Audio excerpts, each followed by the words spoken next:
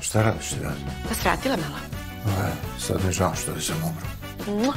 Vas dvoje treba odmah da počnete da živite zajedno. Nemate vi vremena za gubljenje. I ovde kod Milena možete da očekujete samo ovaj krkanluk, kolesterol, kardiovaskularne probleme. Mikić je zaljubljen u drugu ženu.